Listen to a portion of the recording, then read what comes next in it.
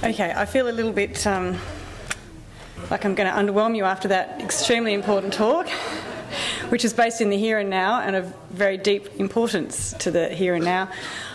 My talk's of the future, so if you can accept that it's a lot lighter, uh, we'll, we'll, transport ourselves to the future um, for the time being. So, this is our futuristic lab. Uh, I've got my name on the slide, but there are a lot more people than me who've done the work that I'm presenting here. So I want to acknowledge that I do, a lot of standing around and talking, and a lot of other people do a lot of actual work. So, oops, that's the. So I thought I'd start off with what is a sensor. Um, being aware that I have a very broad audience here, I'll, you know, forgive me if I'm starting at too low a level, but I thought I'd make sure we're all on the same page what do I mean by a sensor? So a sensor is something which takes some kind of physical property, so maybe temperature, maybe um, light, maybe pressure, uh, and, and converts it to a signal that, that can be observed and, and transmitted. So usually that's electrical signal. It, it doesn't have to be, but it's something that we can, we can take. So um, the human body is a really good example of a system that is absolutely full of sensors, and for the most part, sensors that we can't reproduce with the technology that we have. So we've got this. This is showing uh, here the, the the technological solutions that we've attempted to mimic, but um, the real solutions in the human body are better. So, sight and focus, the human eye, there are all sorts of things that we have in place in terms of image sensors and uh, we can do things that the human eye can't do with sensors such as infrared. So you would be aware of night vision cameras that, that take that uh, heat information to, to, therefore see at night where, where we couldn't with our eyes. But the discrimination uh, in the visible thus far can't be beaten in terms of taking the information that we take with, with the, ret- the retina is the, sens- the sensor inside our, our eyeball, taking that information and processing it and determining what you all look like as individuals. We can't do that yet. It's a combination of the senses and the processing, I should say. Uh, another one, as an example, is smell. So the olfactory processes. So we can't reproduce a human nose, let alone uh, one of a, a, sniffer dog at an airport. So that's that's in terms of um, research into defence technologies, for example, developing an electronic nose is, is one of the holy grails of, of how to work to make sure there's explosives or drugs or whatever it is. The, the sensors that we can make are, are nowhere near what we have in our nose and certainly what a, a beagle has in, in its nose. Um, other examples, we, ha- we have the cochlear um, sensors in our ears, that's, that's hearing, so that takes the vibrations of, of sound waves and converts that to a signal that goes. So, our, our central processor is, of course, our brain. So, we take these signals, they're all converted to electrical signals. So, the eyes, it's the, uh, the light goes into the retina, trans, it's um, transduced into a signal that goes into our brain. The ears, it's that pressure, the vibration in the cochlear drum gets um, transduced into an electrical signal into our brain. Our, our skin, um, we have our nerve endings that, that sense um, force, pressure, and again, we have that converted to an electrical signal that goes to our brain. We attempt to do the same thing with manufacturable technology in terms of making pressure sensors, force, and touch. Speakers, I could go on, but hopefully, hopefully, you've got the idea now of the analogy. Um, so now this is a bit of a full-on slide. Don't worry too much about trying to take everything that's on there. Moving just from the kinds of senses as an example from the human body, this, this is from a, it's just, it's a, it's a nice infographic that I like to steal from Libelium for my, it's not stolen, they make it freely available for my lectures, so I thought I'd use it tonight, showing some of the ideas of what's known as the kind of smart world. You might have heard of smart grid, smart home, smart car, smart this. What's at the heart of all of that smart, anything that you hear about is sensors. It's about having sensors in every aspect of whatever it is so that all the information can be gathered and, and then processed together and the right decisions can be made in real time um, with every bit of information that's available. Again, this is what our body is doing all the time with all our senses, and what we want to do is interconnect our entire world. And this can be in terms of health. You, you may have heard of um, solutions for, say, um, elderly people at home having having a a home that will be monitoring everything that they do, make sure they're not hurt, make sure that they don't need assistance. Our smart grid is about the fact that if we want to use renewables, the renewable energy sources are mostly sporadic sources, so whether there's sun or not, whether there's wind or not, etc., requires the grid to be able to adapt as the power surges and retracts, etc., compared to a nice, reliable old coal powered um, power station that just keeps churning it out as ordered.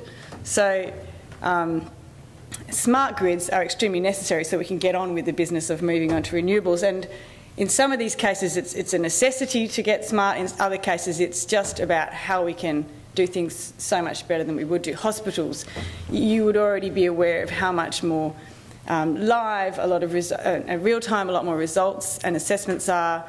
The diagnostics that can be done on the spot compared to waiting for a long time for um, results and those kinds of things. So if you look here at the kind of topics, we've got air pollution, forest fire, wine quality, a very important one. I've been trying for years to get into wine sensors. My colleagues have the particular sensors I work on. I haven't quite got there yet, but I will one of these days.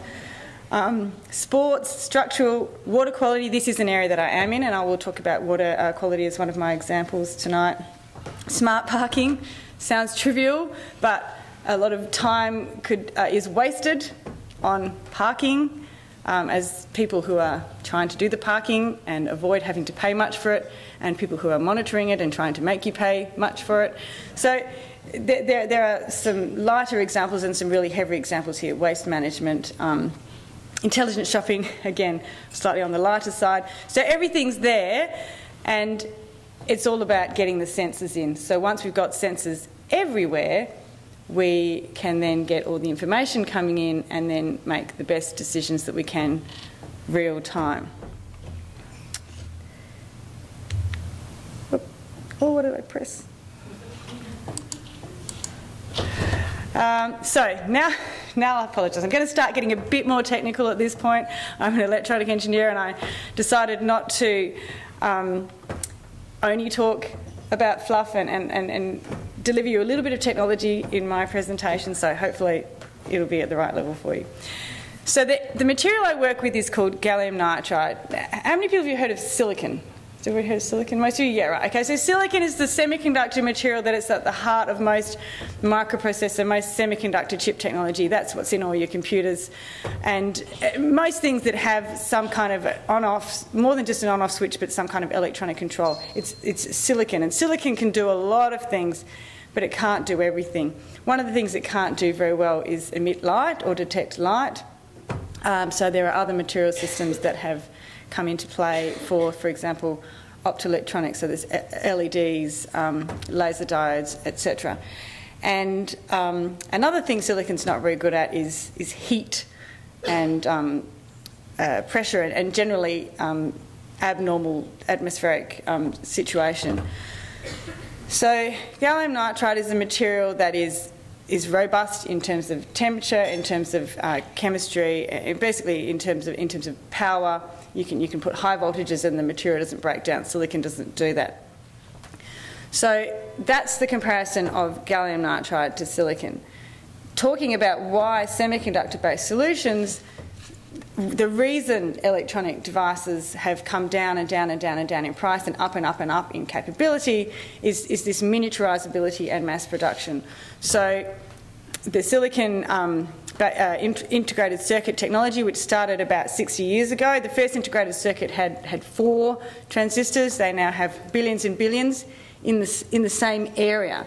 So the way, the way um, transistor technology um, progresses over time is that it gets shrunk down so that if you were to fit the population of China into a music hall, that's the same number of transistors originally. Uh, compared to the, the number of transistors now, kind of a, an old chip with a new chip, except that it's fitted in the same size music hall that new population. So we're really shrinking things down.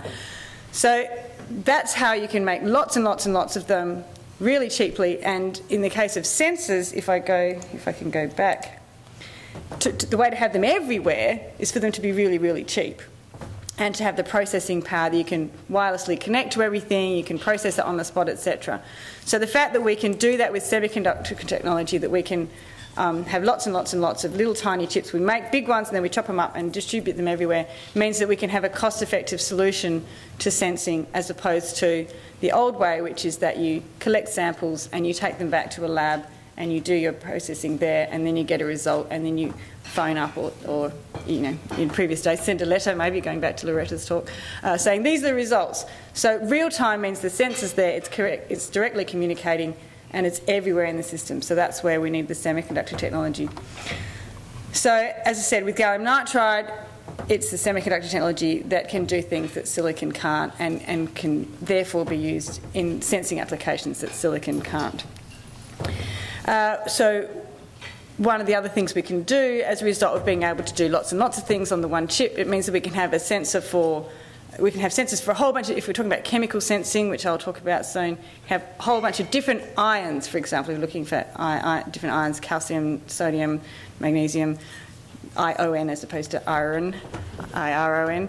Um, we can do them all with the one chip and we can measure pH and we can measure temperature and we can measure pressure and all of those things all on the one chip and get all that information together. And therefore, use it to say, oh, well, if this sensor if the output varies as a function of temperature, that's okay because we're measuring temperature as well, and therefore we know how to adjust for that. If it varies as a function of pH, that's okay because we know how to adjust for that. So that's what we're going to do. So this just gives you an idea of the scale. So this is a um, my former postdoc had come not from Australia, so that's why he used a euro coin, and I have been too lazy to change it over to an Australian coin. But you get the idea of the scale. Uh, so this is a little tiny. So this is not one sensor. This is this is a, an array with a whole bunch of different sensors on it. So, how do these sensors work? The idea is that we have uh, a transistor. Now, I'll, I'll, I'll, just give a very simple explanation of a transistor. Those of you who know better, forgive me. Those of you it's too complicated, forgive me. Um, basically, a transistor is an electronic device where you have one metal uh, contact called the gate which is used to control whether it's on or off, basically. And then you have another two pair of metal contacts, the source, S, and the drain, and you're passing current between those.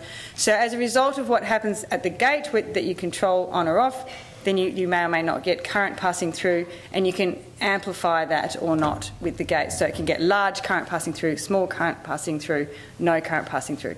So transistors can be used either as an on off switch, that's the digital application, so that's what's in your um, computers. The, the, one zero um, binary um, system that you'd be familiar with is on or off memory, etc. Um, as amplifiers, it means it takes a tiny signal and you have a tiny signal controlling it, and then you get a large output current. And so, when, for example, the, the sensor examples I was giving you, so a, a microphone which takes a tiny um, vibration coming from the, the sound waves from your voice and vibrates a little tiny um, receptor, and then that becomes a really tiny electrical signal, and that's too tiny to kind of deal with. Then you have an amplifier, which makes it a bigger electrical signal, and then that, that can be coming out through the speaker or whatever.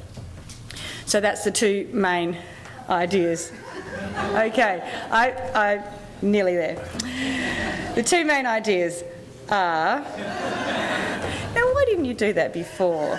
I asked if that was going to happen, and no one said yes. All right, I'll speed up. You asked the I asked the wrong person.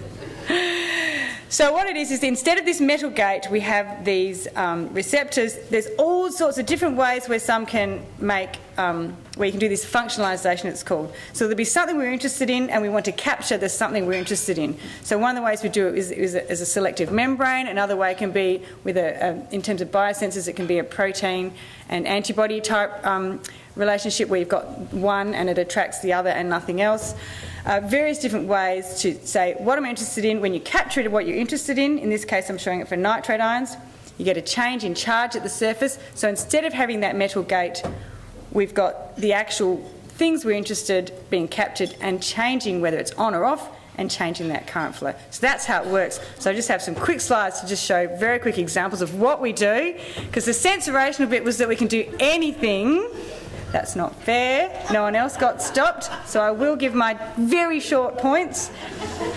One is chemical sensors. So um, don't worry too much about you know, numbers. What I want to show is that we can detect from parts per billion to parts per million. So we've done this for mercury ions, we've done it for nitri nitrate ions, calcium, and we've also done it for pH sensors. These numbers happen to be of interest. For example, we've started doing a project in Europe. They, uh, they've put in regulations about nitrate levels in streams. You're uh, hopefully aware of the fact that nitrate, excessive nitrate causes algal blooms. The limit, the limit linear range that we detect is the exact range they're interested in in terms of what's going to happen when we need to prevent an algal bloom. So our sensors, which can be distributed all the way through the stream everywhere, means that you can have a real-time monitoring of what's going on with nitrate levels and react straight away if something goes wrong. There's industrial applications as well, all sorts. So we can do, you name the application, we'll do the ion of interest, and um, that's, that's, that's the sensorational bit. Biosensors is the other example. We've done some really interesting stuff. This last example I want to show is where we actually, instead of having something uh, like a membrane, etc., something um, non-living as, as the capture point, we actually had live human cells cultivated on the surface so that we could look at the processes that are actually done by human cells. So human cells have what's called ion channels. They open and close. They let that. So we have calcium ion channels. We have sodium ion channels. They open and close according to the physiological processes that are occurring, and that can be happening enhanced or decreased according to processes that should or shouldn't be happening. So, in terms of diseases, you would look for markers for whether those processes are happening or not happening. Or if we're testing a drug, we want to look at what's happening with those. So, this is just an example where we had these cells on the surface. This is the output signal of the transistor with the cells on there and the chloride, the calcium solution. We put in an activator, which is a drug that opens up those channels, signal goes up, we put in an inhibitor which closes up those channels, signal disappears the same as it was if there was no cells. So we and we proved with other tests that it was a physiological thing and not just a chemical thing. So again, we can do anything you tell us what the application is, we'll put the right thing on the surface and we can sense it and distribute it in the in the future. Okay, thank you. So,